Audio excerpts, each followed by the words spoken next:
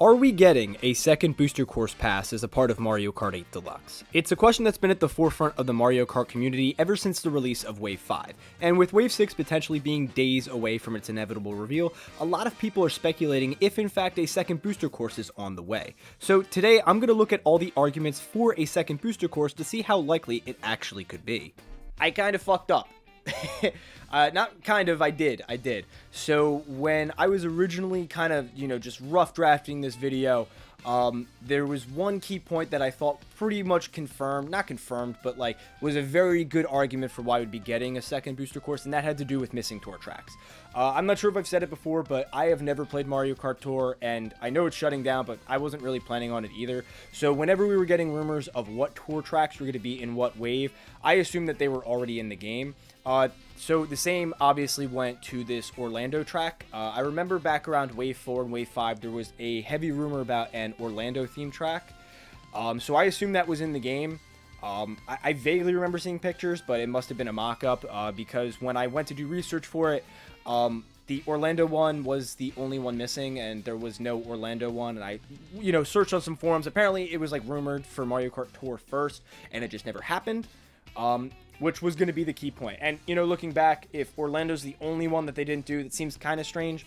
Uh, but basically, the point was, you know, we're missing this Orlando track, so they're going to probably want to have it in Booster Course Pass 2 so they could salvage it, but there was never any Orlando track.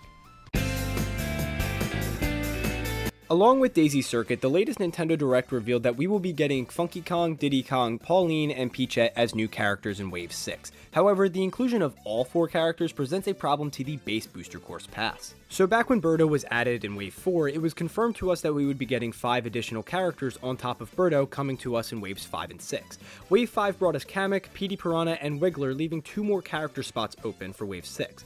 As you can see, this ain't two, it's fucking doubled. So where exactly are we going to be putting the other two characters? There just isn't enough room here to make it look neat. Now, I know this is a bit of a stretch, but what if Nintendo also wanted to salvage a bunch of the character models from Tour as well?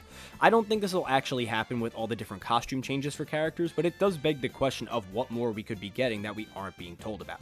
I mean, we're still missing a few key characters in Mario Kart like Nabbit, Hammerbro, and the fucking Bee! As of right now, the overabundance of characters is the only tangible piece of evidence in support of a second booster course pass, and although it isn't as substantial as, let's say, a missing course from Tour, it is a pretty solid argument.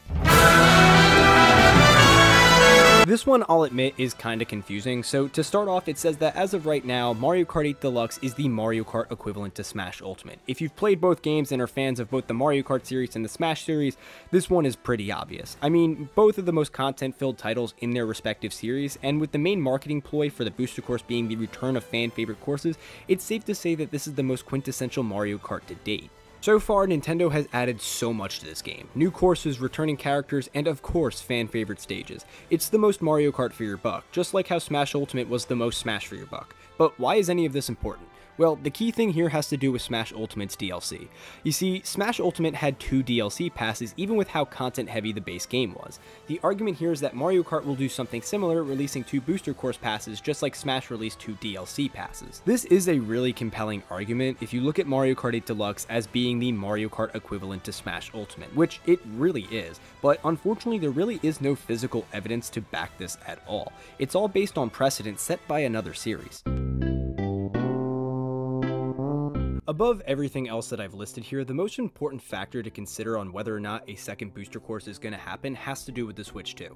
I recently did a separate video talking about this. If you haven't seen it yet, there is a link for it, but the main gist of the video is this.